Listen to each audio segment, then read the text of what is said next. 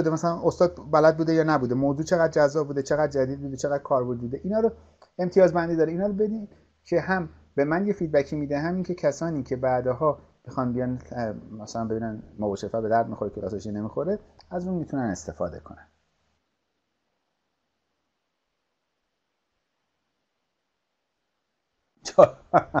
من الان متن آقای باقری رو دارم می‌خونم. ده تا عرض بگیم خیالم راه آره اینم راه حلیه. مثلا میشه یه سبد. اینم اتفاقا فکر خوبیه ها. مثلا معرفی یه سبد طلایی. یه خورده از این کارا میشه انجام داد. مثلا از این استفاده کرد. برگردیم به بحثمون. دیگه خیلی طول نکشه. ببینید تو تعریف مالی رفتاری که اصطلاحش بیهیویر فایننسه شما فارسی مالی رفتاری گوگل کنید. یا انگلیسی behavior finance دنیایی برای شما مطالب میاره. که تو حال تو دسته‌بندی خرد و کلان نگاه می‌کنه. تو خرد تمایل سودگیری سرمایه گذار رو میاد ببینه و توی اقتصاد کلان میاد میگه خلاف بازار کارا فرضیه بازار کارا مدل های رفتاری رو بررسی می‌کنه و توصیف می‌کنه. یادتون هست در مورد بازار کارا صحبت شد. بازار کارا بازاریه که تمام یعنی هیچ چیزی پوشیده نیست. همه تاثیرات قیمت و اخبار مهم رو شما توی قیمت می‌بینید. یعنی کاملا transparent. inside news وجود نداره نمی‌دونم این گروه های pump و dump ی وجود نداره اخبار رانتی وجود نداره. همینه که دارم میگم نداره به الان می‌دونید به طرز فجیعی وجود دارد. حتی توی مثلا یه سری بازارهایی که چارچوب داره و نظارتی روش انجام میشه. دیگه تو کریپتو واویلاس هر کسی هر جا برسه می‌زنه تو گوشه یه ارزی بکشش بالا بیارش این و پامپش کنه دامپش کنه. پس من بعد بیام به این ابزاره مسلط بشم. و اگر جزئیاتش رو ندونم همون جایی که دارن می‌زنن تو گوشه ارزی ببرنش بالا یا بیارنش پایین عملا به طریق اولا یه دونه می‌خوره. بلا نسبت تو گوش ما که سرمایه‌مون از بین بره. مدل های مالی رفتاری مدل های مختلفی وجود داره که تو حالا خرد و کلان داریم بررسی می‌کنیم. ببینید تو چهار تا مدل داریم مدل دو طرفه بارون داریم مدل هر شود شما تصویر منو دارین دیگه قطعا انشالله تصویر اسلاید رو دارین می‌بینید دیگه. بله استاد هم تصویر خودتون هست هم تصویر اسلاید هستن.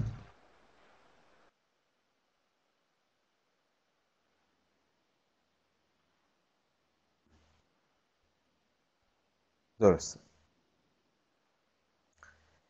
مدل دو طرف بارون وال رو داریم پنج مدل پنج طرفه بایلاد بایلر کایزر رو داریم بی بی انکی بهش میگن. مدل میرز بریگز رو میگن یا همون آزمون سوگیری رفتاری که یه امیتی قرار بود بزنید شما که امیدوارم انجام داده باشین. یه تیکه رو با هم می‌بینید بحث روانشناسی اقتصاد که قبلا با هم صحبت کردیم. مدل دو طرفه میاد میگه که سرمایه گذار ببین ما دو تا میاد تعریف سرمایه گذار می‌کنه. منفعل و فعال.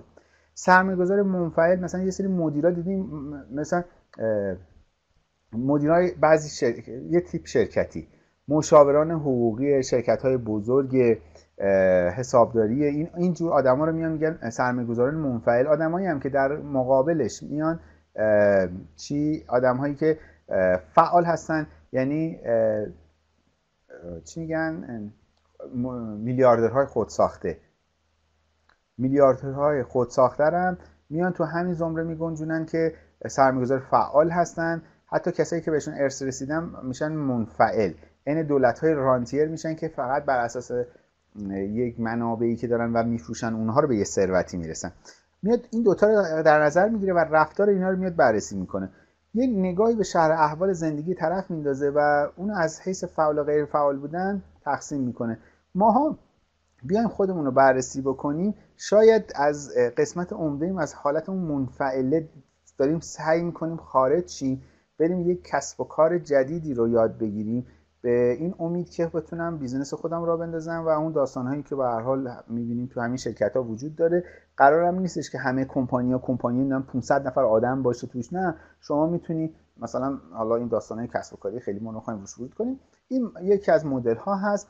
BB هم همونطور که می‌بینید یه مدل پنج طرفه است. توی مدل پنج طرفه می‌بینید توی مثلا اینجا میاد تیپ ماجراجو رو میگه. یعنی میگه بین مطمئن و بیپروا یک زونی وجود داره میشه آدم های ماجراجو.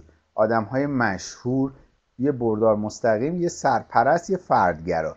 اینا رو با هم ببینیم چیه. نگاه کنید تو ماجراجو افرادی که تمایل دارن روی هر چیزی شرط ببندن. اینا هستن که یادم آقای حکیمی که زمانی که توی بانک مرکزی سمت داشتن یه توی سمینار خیلی معتبری برگشت گفتش که آقا شما هر کاری کنی بالاخره این داستان شرط بندی توی وجود داره و هیچ کارش نمی‌تونی بکنی.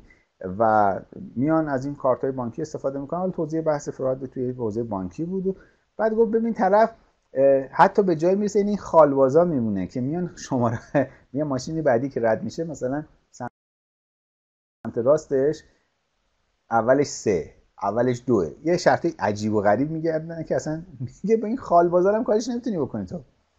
و خب این آدما آدمای خاصی ان ماجراجو ان کاراکترهای عجیب و غریبی دارن و خب به هر حال جذابه برای یک سری position ها آدمای مشهورم که یه سری آدما دیدی که دوست دارن همیشه جلو دوربین باشن. خدا رحمت کنه این آقای انصاریان و علی انصاریان که همه ما با اون خنده های نازنینش کلی خندیدیم و با تیکه هایی که مینداخت کلی دلمون شاد شده. اتفاقا چند شب پیش من داشتم برنامه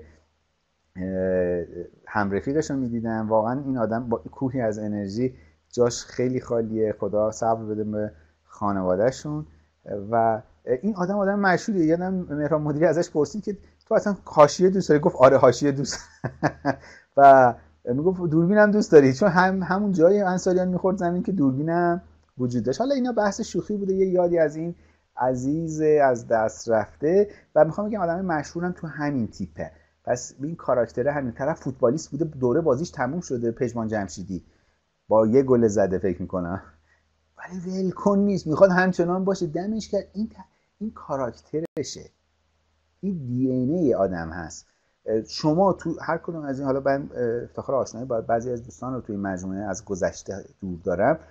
خب می‌دونم اوردر سنشون تو 45 یعنی بالای 40 ساله.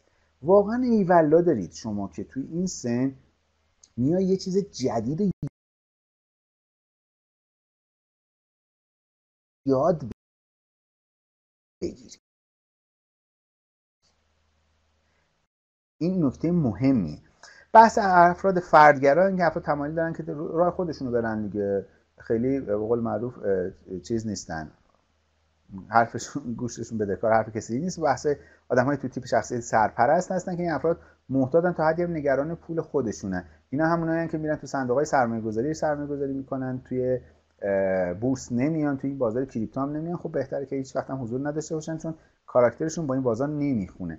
بردار مستقیم هم که عرض شود که این گروه بسیار متعادلن. یا آدمایی هستن که جمع جبری همه اینا رو ببین در نقطه صفر هم چیزی در هر کدوم یه خصوصیت داره و هیچ یک از مناطق توی هیچ کدوم از این مناطق چهارگانه هم قرار نمی‌گیرن و از ویژگی نسبتا متوازنی. یعنی خیلی آدم یه آدم چی میگن متعادل اجتماعی هستن. نه خیلی هوار حسین دارن نه سر تو به تو دارن نه مثلا حرف حرف خودشون و الی آخر این دسته‌بندی BB هست. از نظر دسته‌بندی شخصیتی. مدل MBTI که تست مشهوری هم داره و Myers-Briggs Type Indicator بهش میگن این مدل سالانه میلیون ها نفر در دنیا از این تست می‌زنن. تست فقط این تستی که تو MBTI فقط به همین عبارت که شما دیدین تنها نیست بلکه انواع و اقسام مختلفی داره که میشه ازش استفاده کرد. مشهورترین مدلی که تو صنعت ازش استفاده میشه تو حوزه بازار crypto بازارهای مالی financial market خیلی ازش داره بهره می‌گیرن که خب حائز اهمیت از چهار ویژگی انسان 16 تا تیپ در آورده. که این چهار ویژگی همونطور که می‌بینید نحوه تعامل فرد با دنیای بیرون چجوری هست فرد به طور طبیعی به چه نوع اطلاعاتی توجه می‌کنه نحوه تصمیم گیری فرد به چه صورتی و آیا به شیوه ساختار یافته داره زندگی می‌کنه و ترجیح میده مثلا راحت زندگی کنه یا اینکه نه یه شیوه خودجوش داره. اینو این آدمه رو می‌تونید توی این ببینید که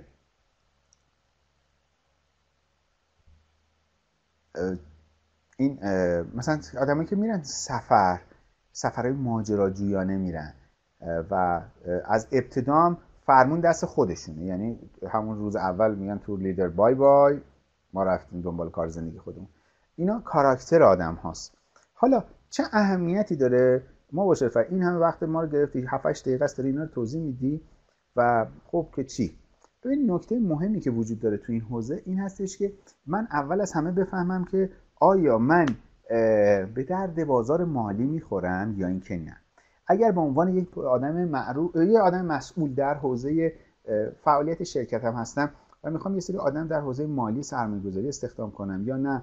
یه سری آدم می‌خوام تو حوزه برنامه‌نویسی استخدام کنم اینو چه کاراکترهایی باید داشته باشن که اکثرا منابع انسانی به این مسائل می‌پردازه؟ ولی اینی که اوورالی آدم بهش تسلط داشته باشه مهمه. اما ما تو این دوره بیشتر بحث شخصی خودمون رو داریم. و من یه دونه تست قبلا داده بودم.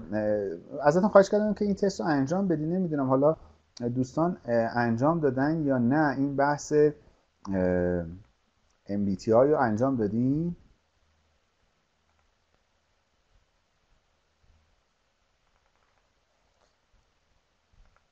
دوستان تست بله عالی عالی این که نتیجه چی بوده؟ کاملا بحث شخصی خودتون هست. من پیشنهاد می‌کنم که خیلی هم جای